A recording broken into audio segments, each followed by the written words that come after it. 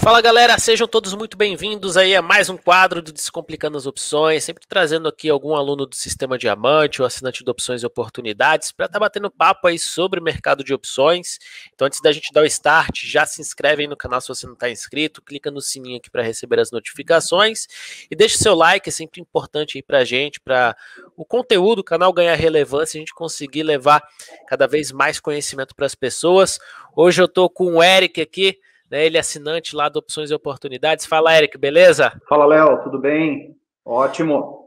Beleza, muito obrigado aí pela, pela participação. É um prazer enorme, estava até falando com você antes, né? É um prazer enorme ter, ter esse contato né, com, com as pessoas, saber quem é que está do outro lado da tela. Né? Normalmente só vocês me veem, eu não, não sei quem é que está do outro lado da tela, se não for pelo nomezinho que está lá no chat. Então, é uma experiência bem, bem diferente, bem legal, né? Porque a gente a gente tem esse contato aí mais humano, né, com, com quem está do outro lado ali. Legal, legal. Eu agradeço a oportunidade também de, de estar aqui, né? E é aquela brincadeira, né? Você, para a gente, já é nosso melhor amigo, né? Pô, bacana. Deixa eu te perguntar, como é que você chegou no Opções e Oportunidades? Como é que você chegou nesse mundo das opções? É, o que, que você faz? Como é que, que é o seu dia a dia aí? Como é que você trabalha nesse mercado? Bem, eu, eu sou filho de comerciante, né? Filho, irmão de comerciantes. E como bom comerciante, compra num preço mais baixo, vende num preço mais alto. E de tanto ficar cansado com esse mundo do, do, dos bancos, né? Os bancos me cansaram de procurar oportunidade sempre ser né, lesado uma amiga que é gerente me mostrou um curso, né, sobre investimentos com o André Fogaça. E isso em 2016, no começo de 2016. E ali começou a, né, a despertar né, mais curiosidade, serviu só para me aguçar a buscar mais informação. Né?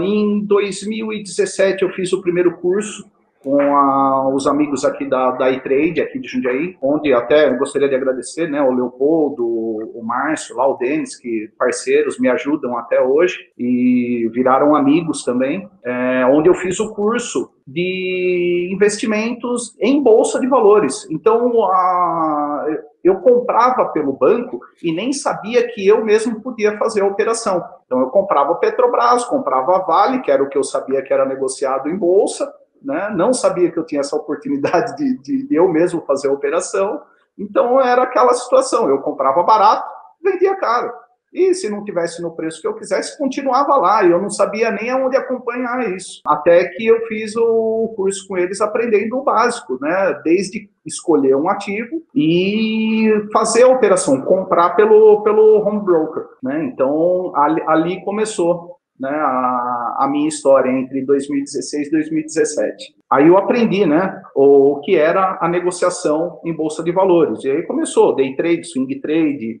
o long short. Fui apresentado as opções, né. Ah, em 2018 eu saí do mercado tradicional de trabalho. Eu sou piloto de avião, né, mas em 2018 eu né, fui, fui convidado a me retirar do, do, do mercado formal de trabalho. E aí despertou mais ainda o interesse daquilo que eu já tinha aprendido, pelo menos a não aprender a fazer, mas pelo menos saber onde eu estava apanhando, né? E aí eu conheci o Danilo Zanini. Com o uhum. Danilo Zanini fiz um curso também presencial com ele, aonde conversando sobre opções, ele falou, viu, você está me fazendo muita pergunta e meu, tem um cara que você vai gostar, tal. Aí ele me apresentou o Léo Dutra, que até hoje tenho como o mestre dos magos aí da, da, das opções pela clareza que, que você transmite na, na, nas suas informações, né, nos seus ensinamentos. E aí começou a cada vez mais também a despertar um interesse sobre as opções, porque eu fazia o lançamento, né, o financiamento da carteira, né, não era nem lança, não chamava nem de lançamento coberto, né, e era só na, nos ativos que eu tinha em carteira. E aí, com as suas informações, eu, eu comecei a te seguir no é, Hora do Fechamento. A hora do fechamento. Hora fazia. do fechamento, é. E ali eu comecei a, a, despertar um interesse e veio a oportunidade de fazer parte do Opções de Oportunidade. E né? É, não, é, não é só um canal de recomendação, né? Ah, logo depois de, de um mês ali já, já vi que a, era muito, é muito mais do que só um canal de recomendações, né? Tem todo uma preparação e uma troca, né? Que, que você faz lá com, conosco. Então, uma baita oportunidade. Foi, foi assim que eu cheguei. Pô, que legal. E você foi em algum evento presencial? Cheguei a te conhecer presencialmente ou não? Sim, sim. No... Foi em março, um pouco antes do, do, do lockdown. Hum. Né? Em março, lá no, no, no WeWork, né? Uhum. No, no, escritório, sim. Lá a gente teve um, um bate-papo ao vivo. Pô, legal. Eu, bem que eu bati, bati, o olho assim, eu falei, ué, eu, ele não é estranho, já, já vi em algum lugar. Aí pode ser tá da Globo também. Pode ser pode da Globo. Ser... Ah, é? Pode ser da Globo? Pode ser também. Então. Boa. E vem cá, como é que você tá, como é que tá sendo opções e oportunidades para você? Você está gostando? Tem te ajudado? Tem conseguido Poxa, aprender a, lá? Sim, além de além de aprender, né, a troca de informações que a gente tem lá, que tem o pessoal lá que é impressionante, é 24 horas no mercado, né? A bolsa de valores ela fica 8 horas no ar, a galera lá fica 24, né? É. É o tempo todo a gente trocando ideia, né? O pessoal lá preocupado em ensinar, né? Quem, quem tem dúvida, quem está chegando, né? Mesmo se não estiver chegando, a gente consegue né, perceber lá que muita gente é, tem tanta bagagem lá, tanta experiência, tanto tempo de tela, né? Como a gente costuma dizer, né? No, no mercado financeiro, que a, a troca é, é, é grandiosa é grandiosa, não só com os seus ensinamentos, mas também com essa vivência do, do pessoal lá, muito bacana. É o negócio que eu sempre falo é, e eu sempre, sempre reforço na comunidade, né, que quem ensina aprende duas vezes, né?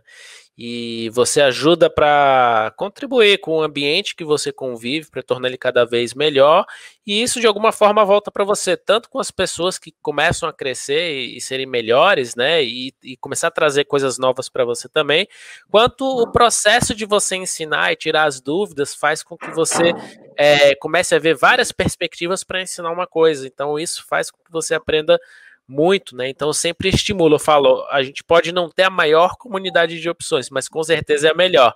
Se você acha que chegar lá de 3 horas da manhã de um domingo e fizer uma pergunta, acho que sempre tem alguém. Vai ter tá... alguém para responder. Tem alguém para responder, né, cara? É impressionante. É, tem, tem sim.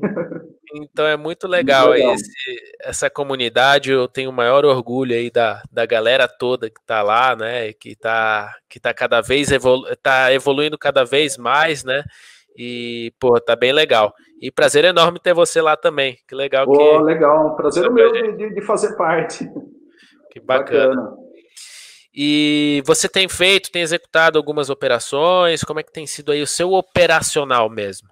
Sim, hoje eu, eu vivo do mercado financeiro, né? Então eu costumo, eu brinco que eu sou um, um caçador de oportunidades agora, né? Eu fico uhum. atrás da tela aqui, né? Só caçando as melhores oportunidades, né? E assim, e, é, atrás da, sempre atrás da verdade, sempre atrás do conhecimento. É, já errei bastante, claro, não tem como, a gente aprende com os erros, né? Mas até hoje, graças a Deus, não quebrei minha conta e espero hoje ter aprendido né, com as, as proteções que o mercado te dá, a não correr mais esse risco de quebrar a conta, né, usando gerenciamento de risco e agora as oportunidades como ferramenta para isso também. É, as opções ele é um mecanismo fenomenal de proteção, né? Então, então ajuda para caramba aí, tanto para a gente conseguir remunerar a nossa carteira quanto para a gente proteger o nosso patrimônio, né? É, as pessoas não olham muito nessa perspectiva, elas tentam entrar no mercado de opções para, sei lá, ganhar 20, 30 mil por cento, quando que se você muda um pouquinho ali o objetivo, pensando em proteção e tá tendo uma consistência e recorrência, o resultado muda completamente. Né? Sim, sim. A renda recorrente que você né, no, no, nos ensina e você tem isso como objetivo, é realmente, meu, eu prefiro ganhar 2% no mês do que ficar um ano para ganhar, meu, às vezes, né, 300%, 400%, que não é sempre que você tem essas oportunidades, né? E o grande lance é sempre estar exposto, né? Exposto, né, posicionado da maneira correta, né? Então, é, ter a exposição, né? é, recorrente para você também ter a renda recorrente. E quando dá errado, você aproveita para ganhar um pouquinho mais de dinheiro. Isso é, é fantástico. Isso, é, é, isso a nossa cultura não permite, né? Infelizmente. Né? Pois é, mas aos poucos a gente vai vai botando a sementinha aí, né, do, do bem, né, no, no mercado. Exato, exato. E, e você faz hoje só opções ou não? Você faz outras, outras operações no mercado?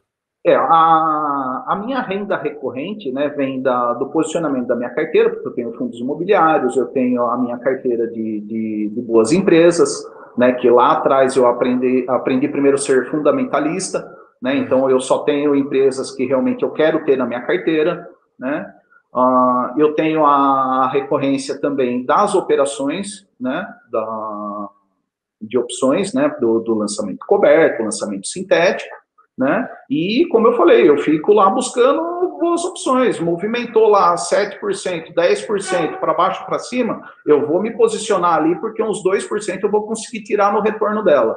Mas também tem que ter a gestão de risco, porque também já já tomei umas lascadas nessa nesse né, nesse setup aí, já também já fiquei com, com fiquei na carteira com quem eu não queria. É, acontece, tem, tem esses riscos, né? O é. importante é você entender o risco daquilo que você está fazendo. Exato. Então, é, eu acho que isso é primordial. Stop, é, alguma coisa pode acontecer. Então, você tem que estar preparado para o pior. Né? Ou, ou, a internet cai, a energia para, pula seu stop. Então, você tem que estar preparado. Entrou numa operação, você tem que ter feito, né? colocado o pé para trás lá e ter feito todo o estudo do que é que pode acontecer, o que é que pode dar errado. Né? Senão, realmente, o rombo é maior do que o esperado.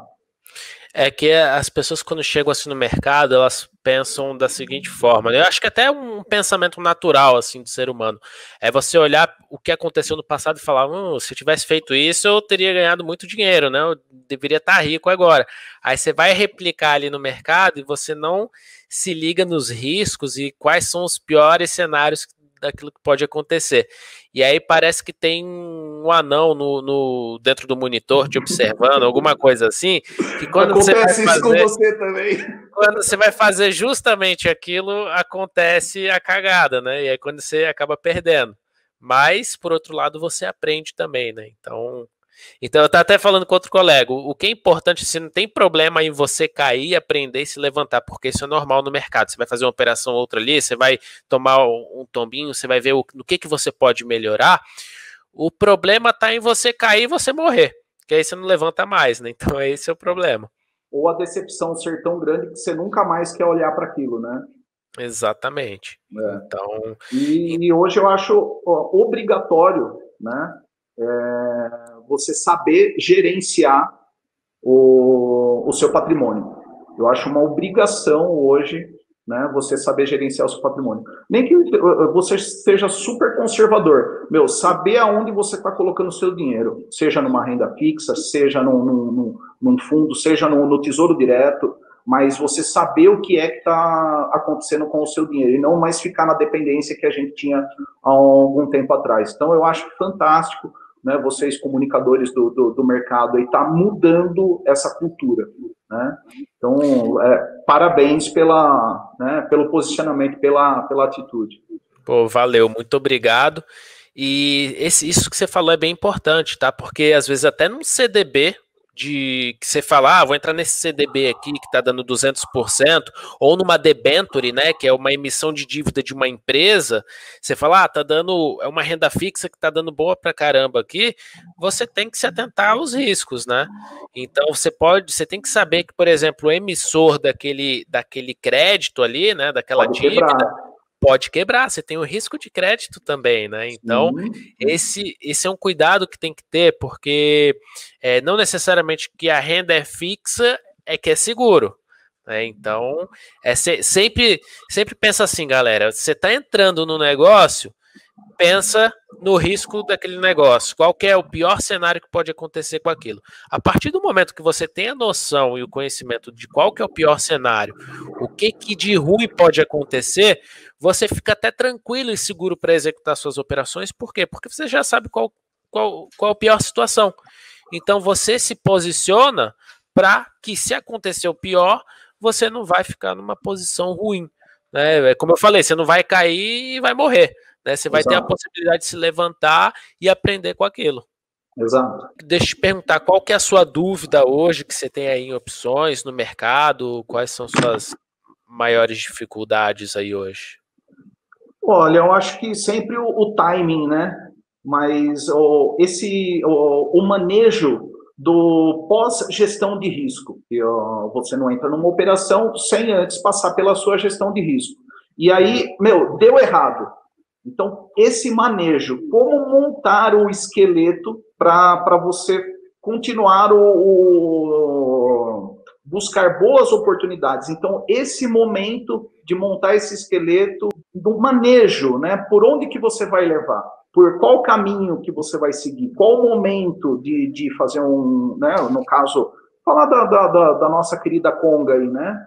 Que deu a, a nossa proteção, né? é, ela não, não foi é, eficiente, né? Isso pode acontecer. É, como fazer esse manejo, essa transição, qual o momento certo? De, meu, eu vou só proteger, eu vou fazer um lançamento coberto, eu vou fazer um lançamento coberto e já alavancar novamente, né? Então, qual é essa esse manejo da operação. Esse pós, né? Então você entrou ali na estrutura, você sabe do risco. E o pior cenário. Aí o pior cenário acontece. E agora, né? Qual que é o seu próximo passo? É, é importante você ter um plano B. Então você pega ali, por exemplo, a Cogna. Pô, teve um lançamento coberto, a proteção deu, acho que deu até para fazer a rolagem dessa proteção, né? Mas a proteção simples ali, não deu para alavancar uhum. mais, né? E agora, o que que eu faço? Bom, importante, primeiro ponto que é importante aqui é a gente ter uma, é, uma carteira diversificada de estratégias. Por quê? Por exemplo, eu rodo muito minhas estratégias no mercado americano. Então, faço lançamento coberto, lançamento sintético, mas não faço só em um ativo, faço em quatro, cinco ativos, tá? Porque acontece alguma coisa ruim com um, eu tenho outros ativos gerando renda que eles podem dar cobertura na proteção daquele ativo. Então uhum. não fico descoberto. Esse é. é um ponto número um. Então você ter, você sempre pensar em diversificar. Léo, diversificar o quê? Diversificar tudo. Diversificar os seus investimentos, classe de ativos. Ah, eu vou ter uma diversificação de é, empresas, de ações. Vou ter uma diversificação de renda fixa. Vou ter uma diversificação de enfim, até de estratégias, né? Então é importante você ter essa diversificação, porque aí você tem uma estratégia suportando a outra, e, por exemplo, você pode pensar também no plano B. Por exemplo, a gente faz o lançamento coberto. Metade da taxa é destinado a proteger e alavancar. Pô, foi naquele pior cenário, na situação ruim, o que, que eu faço? Eu posso abrir mão de mais 10 a 20% da taxa que eu já recebi para continuar a proteção e mantendo aquele cenário ativo. Tá? Ou até se pegar, manter no jogo, né? Se manter no jogo, ou até pegar aqueles 10, 20% para montar uma estrutura de suporte. Por exemplo, Snowball. Snowball é uma estrutura baratinha que dá uma taxa boa e que você pode aproveitar essa taxa somente para financiar as proteções da, dessa sua estratégia que deu errado. Então, eu acho que essas são algumas saídas, né? Primeiro, sempre está diversificado, porque aí você tem estruturas que vão te auxiliar. Segundo, né, você ter esse pós dentro da própria estrutura. Pô, você abriu mão de 50% da taxa, montou a proteção, alavancou a proteção. Não deu certo, você tem que ter uma margem ali para abrir mão um pouquinho mais da taxa e dar continuidade a essa proteção. Tá? Você pode até começar a sua operação, que seja um lançamento coberto, e usando 40% da taxa, se a taxa for muito boa, 40%, 30% da taxa, para montar, montar a proteção e alavancar a proteção, e aí, se for necessário, você tem essa margem para você abrir mão de um pouco mais dessa, dessa taxa, né? Então é uma Legal. possibilidade. Agora, tem o pior cenário do pior cenário. Pode ser que você abra mão ali da taxa e ainda assim você entre no pior cenário, você abre mão da taxa, você entra no pior cenário. Então você tem que pensar qual é o pior cenário do pior cenário do pior cenário. O pior cenário é você simplesmente ficar com a cogna na mão e a empresa quebrar. Esse é o pior cenário. cenário. Então, primeira, então, como é que a gente se blinda desse pior dos, dos piores, né? Primeiro que Cogna, assim, é uma empresa que está passando por uma fase ruim, uma situação ruim, mas não é uma empresa ruim, é uma empresa sólida, consistente, ela tem um histórico na bolsa. Então, assim, é uma empresa que eu tenho até um pedacinho na minha carteira de, de ações, tá? Na minha carteira de investimentos, principalmente, principalmente do setor de educação e que eu não acho que é uma empresa ruim. Ela pode se tornar e pode quebrar? Pode, mas aí tá o, é, o risco do mercado. Aí é o risco do mercado e aí tem a importância de você diversificar também.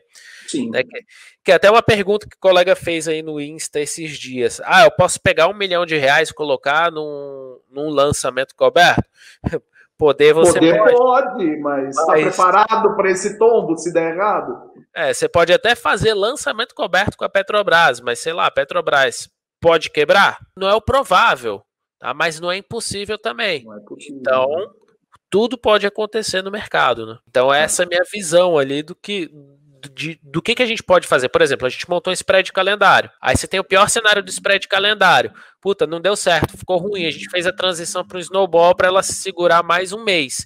Não foi bom também. A, a operação não não girou. Acho que foi o nosso primeiro, foi nosso primeiro spread de calendário ali que não foi bom. O que, que a gente fez? Passou pelo vencimento, vai ficar ali a seco, sabe qual é o risco máximo da operação para tentar a última cartada, porque senão o seu risco máximo tá ali. Né? Antes de atingir o risco máximo, a gente vai fazendo os manejos. Se não der certo, você sabe qual é o seu risco máximo, qual é o pior cenário. Então você tem que ter isso em mente. E você tem que estar tá preparado sempre para o pior cenário. É, a gente sempre fala, né? A gente sempre espera o melhor, mas está preparado para o pior. O pior, é isso. Uma outra pergunta que eu queria fazer para você é, é, como você chegou na, na, naquela operação que em fevereiro a gente montou a, trava horizontal de linha, né, perpétua, né? Uhum. E como você foi buscar a PETRO 197? Meu, ela custava dois centavos, cara. Cara, a Petrobras ela estava bem esticada, né? E o que, que a gente fez? A gente tomou a decisão de, de fazer a, naquela, naquela época não tava, não tinha chamada de margem para trava horizontal com put, né, com as europeias. A, pelo menos a corretora não estava fazendo a chamada de margem. E a gente montou a trava horizontal de linha com put nesse momento. Eu falei, pô, o pior cenário é o quê? O mercado cair, ter exercício ali nas opções, a gente ter que comprar ação, enfim, ter todo esse problema. Então, como é que eu faço para me blindar contra uma movimentação brusca ali de queda? Eu tenho que montar um strangle para proteger uma trava horizontal de linha perpétua, porque eu tenho o risco de uma forte alta ou uma grande alta. Se é uma forte alta ou uma forte uma queda. Forte queda. Se esse cenário não acontecer, a gente consegue trabalhando as rolagens ali, ainda recebendo taxa até chegar num ponto de equilíbrio ali que seja mais interessante. Uhum. Só que, para mim, o pior cenário estava na queda. E necess não necessariamente na alta, porque na alta as opções virariam pó, tá tranquilo. O problema é a queda que você teria que ter o exercício das opções. Uhum. E aí a gente pegou a Petri 197 e alavancou. E aí você vai falar, ah, Léo, você esperava essa queda do mercado? Na verdade, não, ninguém esperava o coronavírus, né? E Sim. quando eu peguei a Petri 197, as pessoas fizeram a mesma pergunta que você, uai, Léo, mas a Petri, mas Como o, assim, né? Mas o país está bombando, tá vindo as reformas aí, o mercado não vai parar de subir. E aí eu falei justamente isso, ó, a gente sempre espera o melhor, mas estamos nos preparando para o pior. pior. E aí, cara, foi foi ali aconteceu, né? E aí estrutura arrebentou. Sim, sim. É, eu cheguei com essa recomendação a fazer 12.310%. Você chegou a pegar essa operação? Peguei. E, e você, e você tô, tá na trava horizontal? Tô na trava horizontal de linha até agora. Que todo mês ela dá um negocinho, né? Dá um, um tiquezinho lá. É. dá uma quirelinha. Se a, né, se a estrutura está mercado... paga, é, a estrutura está paga, mas todo mês ainda tem um pingo um pouquinho. Pô, maravilha. Eu acho que é. dá uns 3, 2, 3% no mês ali do capital no mês. É, muito então, bacana. Aí foi boa, foi, mais, foi uma operação boa. A gente nunca sabe quando, quando a operação vai ser boa ou não, só sabe depois. Não, eu não, não falaria que uma operação dessa foi boa, não. Foi mais do que, aliás, não tem adjetivo, né? 12 mil por cento. e não deu, não deu, não deu um mês de operação, porque a gente iniciou dia 17, eu, eu encerrei ela no dia 11. Mas é uhum. porque eu não aguentava mais ver valorizar. Falei, não, chega, não vou deixar voltar. Já deu para é, mim, tá bom. Deu para mim, tava tremendo já, a mão já tava tremendo na, na, na, no, no mouse.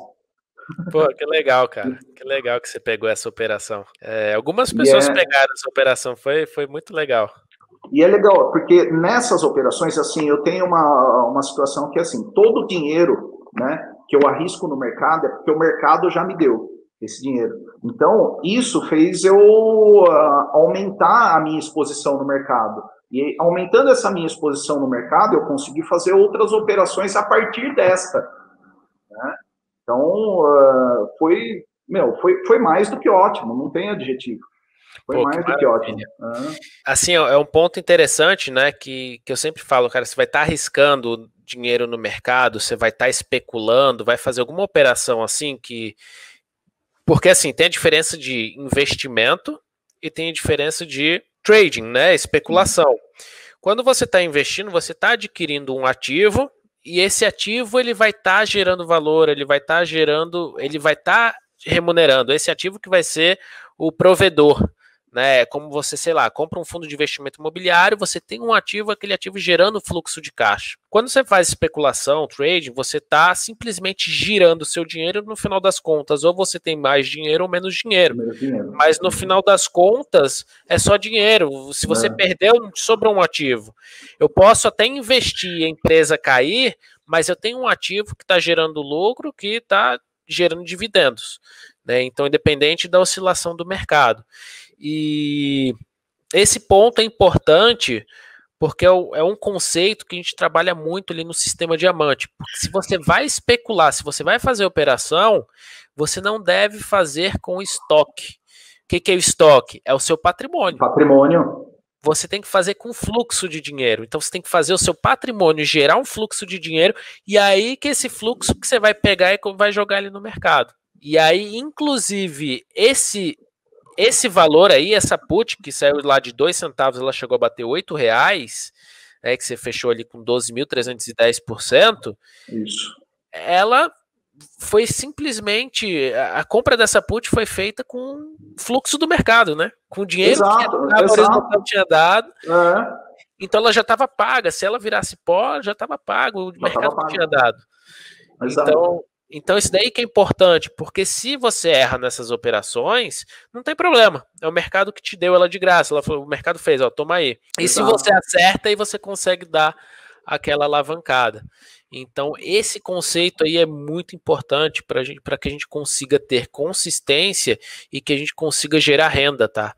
Então, e eu falo isso assim, pô, você tem isso daí bem claro para você, você trabalha dessa forma, mas principalmente para as pessoas que estão assistindo aqui, que estão vendo esse vídeo, é, que a partir do momento que você começa a enxergar o mercado dessa forma, abre uma cortina, uma visão sobre o mercado que as pessoas muitas vezes não tiveram antes. Não tinha, é. E isso daí eu, eu tenho certeza como, porque isso daí mudou os meus resultados no mercado, e eu sei como isso é capaz de mudar o resultado das pessoas com essa simples mentalidade, né, e, e essa simples forma de atuar no mercado, que nada mais, nada menos é do que um gerenciamento de risco, sim, né, gestão sim. do capital. Exato, exato. O, essa gestão de risco eu aprendi batendo cabeça, tá?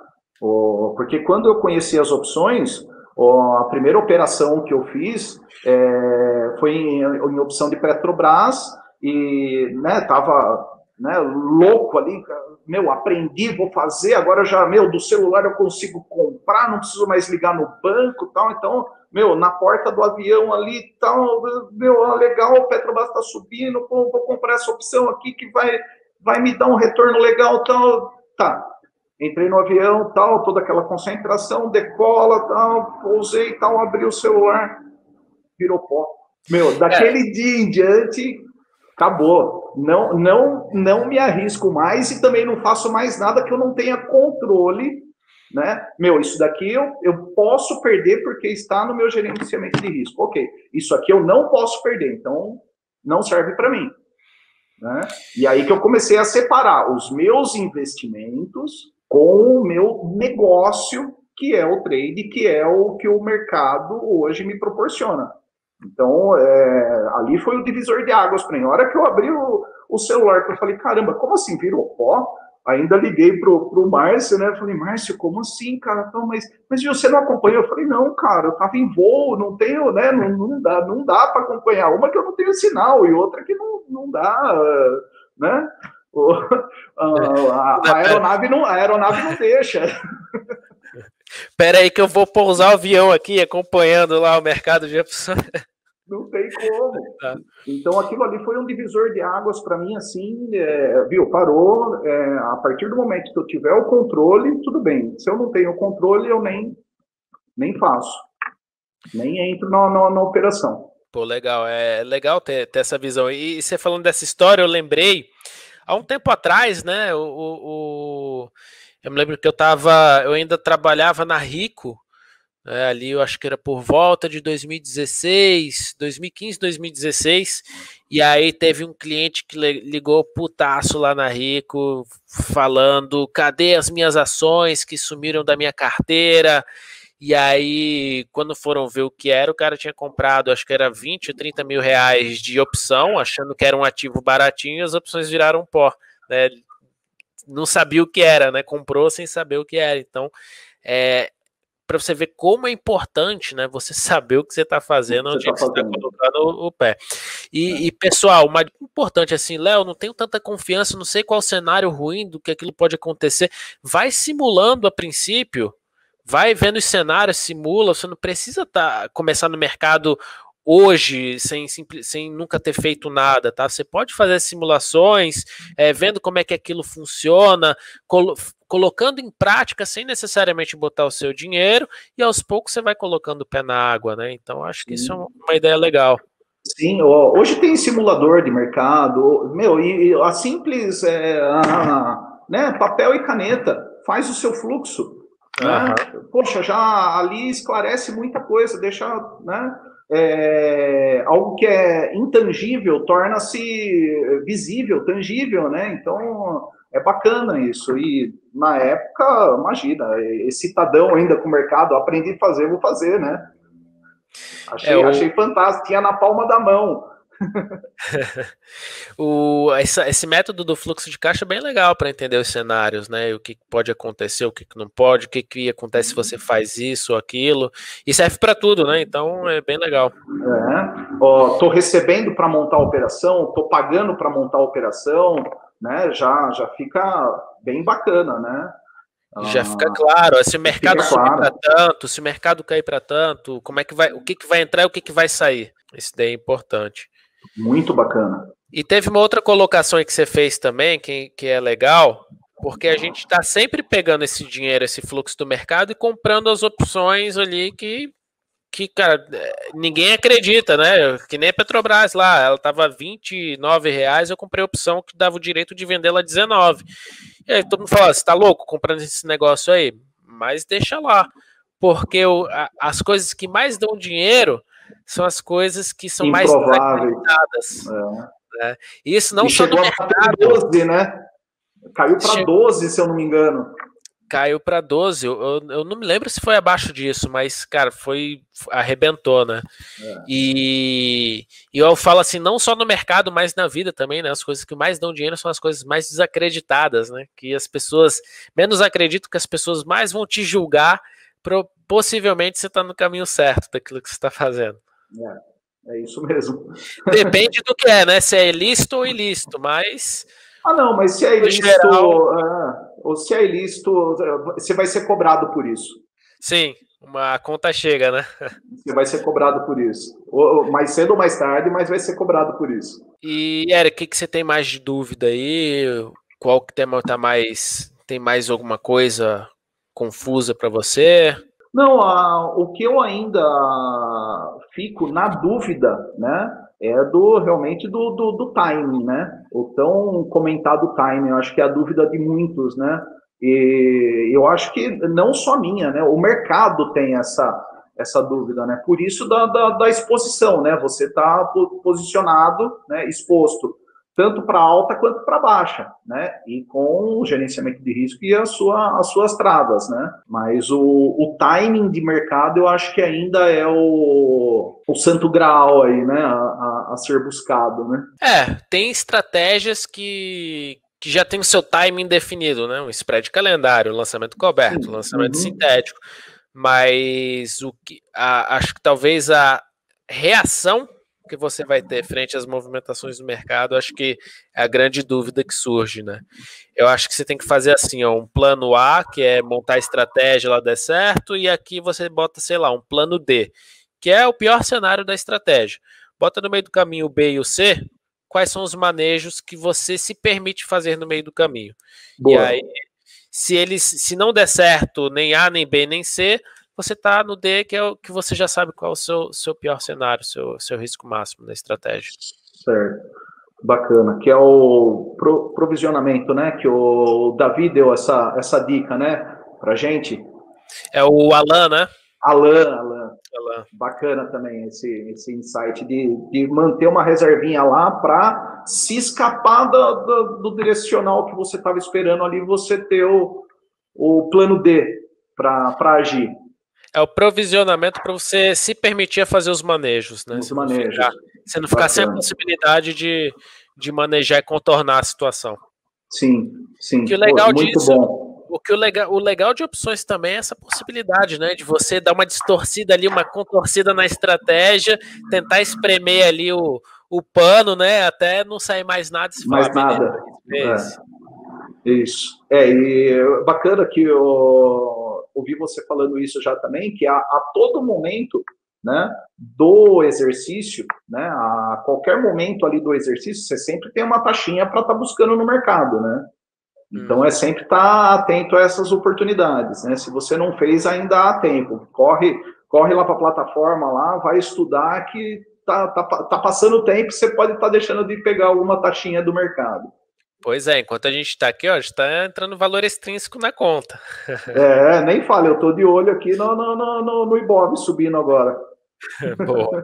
Beleza, então, cara, eu adorei conversar com você aí, prazerzaço, prazer enorme mesmo. É, eu fico muito feliz aí de estar tá tocando esse projeto, de estar tá podendo bater esse papo. Eu aprendo muito, né? E eu tenho certeza que, que a gente consegue transmitir muito conteúdo, muito conhecimento para as pessoas. Acho que essa é a nossa maior missão, né?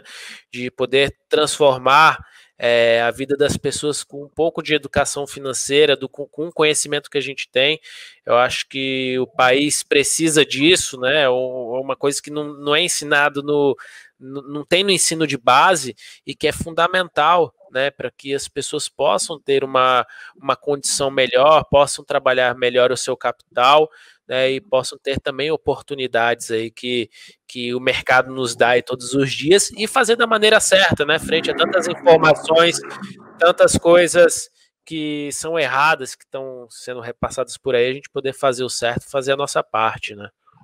Nossa, nem fala, levar o conhecimento, né, levar o conhecimento, isso é, é fantástico. E parabéns, né, pela, pela sua atitude, parabéns pelo seu, pela sua didática, né, e, poxa, é, é, fantástico. Obrigado pela oportunidade de estar aqui, né, falando com você. Já te conheci, né, ao vivo, né, e, poxa, muito obrigado. Obrigado também por cuidar de outras pessoas, que eu sei do, do, do, do engajamento que você tem social também. Então, poxa, muito obrigado por fazer a diferença. Né? Precisamos de muitas pessoas assim. Com certeza estamos formando muitas pessoas assim na nossa comunidade, né? Com, com, com conteúdo também. A minha missão maior é essa. E valeu, cara. Um brigadão aí. Prazer enorme te conhecer. E é isso. Muito obrigado, Léo. Galera, muito obrigado aí pela participação, pela companhia. Deixa o seu like aí no vídeo, se inscreve no canal, coloca aqui nos comentários você qual a parte que você gostou mais, que você achou mais interessante, e a gente se vê aí no próximo Descomplicando as Opções. Valeu, galera. Valeu, Eric. Um abração.